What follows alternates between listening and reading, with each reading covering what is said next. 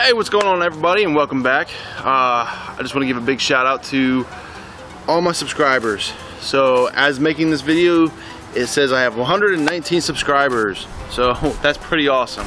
I can't tell you guys how awesome it feels.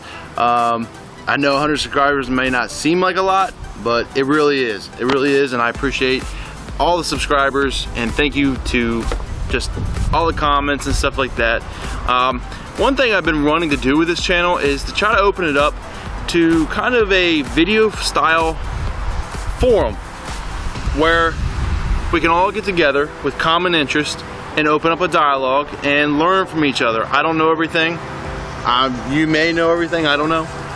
Um, but yeah, I'm looking for people to drop comments and if you go onto my page, um, a Devon Xpress page on YouTube, there's a tab called discussions. And basically you can open that up, ask a question, and then I'm hoping for other people to come in and answer it, if not myself, so we can kind of open this up as a unit, as a whole. We all are here for the same reason, and we can all get something out of it.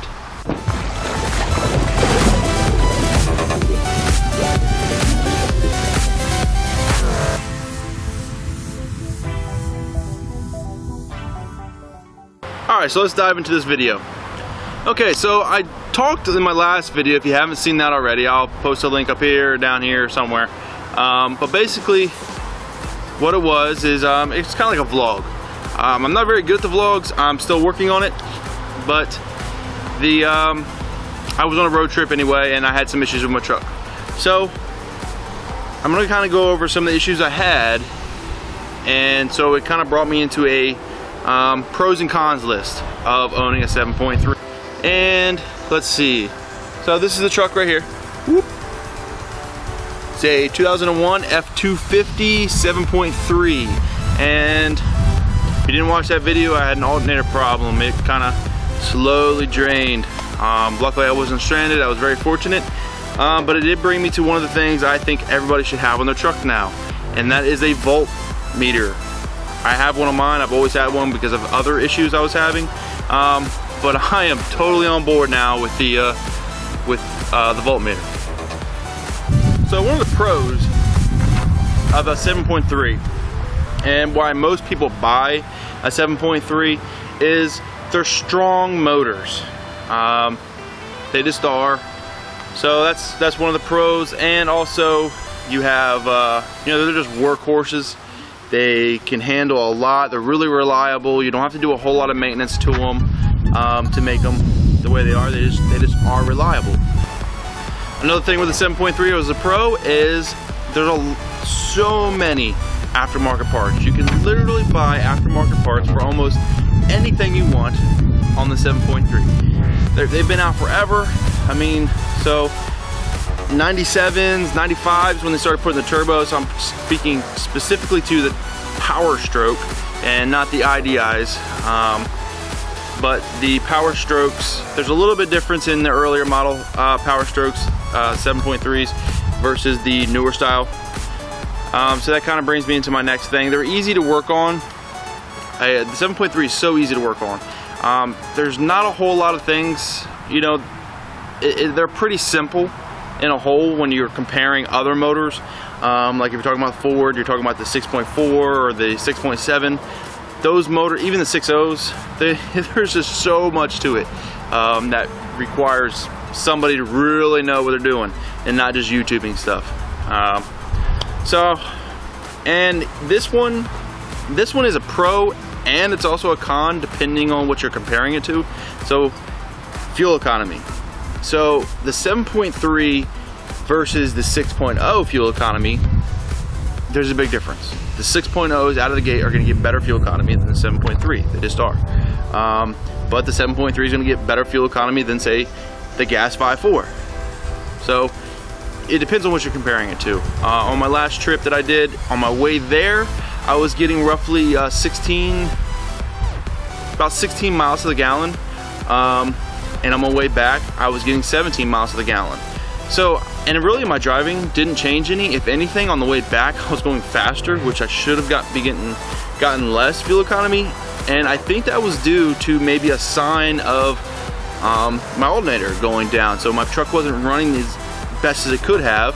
So it was running, you know, it's harder for it to run.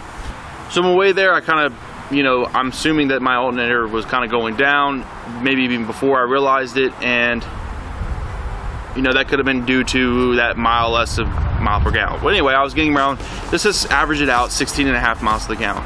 Now there are things that you can do to these trucks to get more uh, fuel economy out of it, um, but that brings me to a con.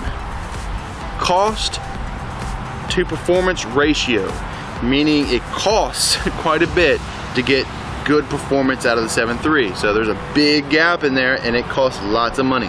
Performance in the newer trucks are already there that you don't have to kind of pay for. They're already there. Um, so another con with this 7.3 is the type of suspension it has. It has simply shock um, suspension, which kind of creates a rougher ride.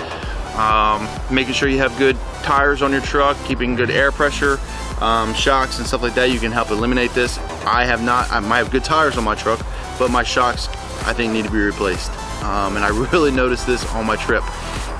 Rough ride. Uh, if you look some of that camera footage, I mean, it is shaking. And I am trying to hold it as still as possible, but still it's, it's all over the place. Um, so one of the biggest weak links in the 7.3 is the transmission the E4OD and the 4R100. The 4R100 is a little bit better um, than the E4OD. They made some improvements, but not enough. Um, so one of the first things I did in my truck was I had it, it needed a transmission anyway, so I went ahead and got it built with uh, shift kits and uh, you know torque converter and all that good stuff to just try and make it a little bit stronger. Um, because the, the transmission in these trucks just, let's be honest, they're just not very good. Another thing, um, this is kind of a pro and a con, but the earlier model, the 2000 in there, um, maybe some just in the beginning of 2001, but I don't I don't really know. It might be a hit or miss. Um, had forged rods, which my truck does not have forged rods. If you are curious on how to check this, I can go into this for you and show you exactly how to check to see if you have either PMR or forged rods. Um, it does make a big difference when you're talking about horsepower. Uh, PMR rods can, um, I think they, this is what I've read out in other forums, so please if you know better, correct me in the comments. Um, I believe it's 400 horsepower um, is what the PMR rods are basically rated for. Anything over that, you're kind of getting uh, a little scary, which I actually am kind of close. So, um, and the forged rods, they're just, they're just tougher. They can handle a lot more abuse than, than the PMR. Um, the 7.3 is, is also two more things. It's slow and it's loud. So with the loud, you can kind of take that as a pro and a con. I like the loudness. I like the way the motor sounds to me. Um, I did change my turbo because I wanted a little bit more of a whistle. The 6.0s, I mean, some of those earlier models, they sound like a jet taking off. I didn't want quite that much, but I did want some more whistle. And they're slow. They just are. The 7.3s were never designed and are not meant for when people buy them like myself. And so if you're considering buying a 7.3, it is not going to be fast. Now you can make it fast, but it's going to cost quite a bit. It's quite a bit to get a 7.3 to really go. Um, so if your buddy's got a 6.0 and you're looking to buy a 7.3, he's probably going to beat you every time, unless you got some seriously deep pockets. And, well guys, I think that's kind of a short and sweet pro and con list. Um, kind of touch base on, I'll go over them, just run down. So pros of a 7.3, they're strong, lots of aftermarket parts, easy to work on. Uh, they're workhorses, they're super reliable. Um, they have decent fuel economy, 16, 17 miles a gallon is what I'm getting. Um, cons, rough ride. They have a rough suspension, um, but you can change that with aftermarket parts. Um, they're loud. Um, they're slow. The cost to performance ratio is pretty substantial cost, meaning it costs a lot to make good performance out of these 7.3s. Um, the transmissions are, the E4ODs and the 4R100s are just not known for being great transmissions. And the 2001 on 7.3s, um, typically you're going to find PMR rods. Um, also a con could be the fuel economy if you're comparing it to like a 6.0 or some of the other um, power stroke diesels where they can get up 20, 22 miles to the gallon.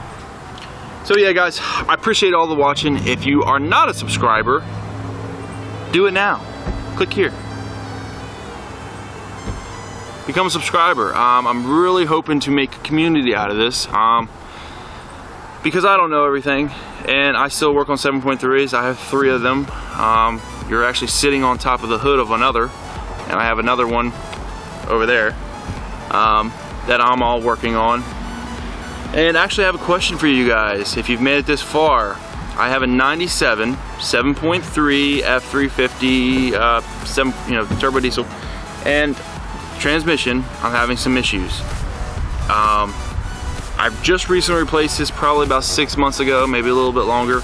Um, and it started acting up where it does not have drive anymore. It doesn't want to stick go and drive. It goes in drive, and but it's first gear. It doesn't actually shift out of drive. So I've been curious what you guys think. I don't know if it'd be a you know the solenoid, uh, the packs in there or what. I'm not a transmission guy. I don't know anything about them really. Transmissions are just something I stay away from. Uh, you know so I'm hoping you guys have some suggestions for me leave them below and if any of you other are watching and you some other video ideas something you want to know leave them below go to the discussion page on the on uh, on the YouTube page and click on there and ask questions um, prior you know when I used to you know you go out there and you're looking for information you have to go through so many different forums to really get an answer and sometimes you know, depending on which forms you use, you can wait a while to get a good response back. Um, also, you find so many, you know, pissing matches where people are just, they're, you know, let's have a discussion. I'm not always going to be right, and neither are you. It's just the way it is. Um, but anyway, guys, I appreciate you watching. Thank you for all the views and all the subscribers. Thank you so much for supporting this channel. And, and until next time, guys, See you.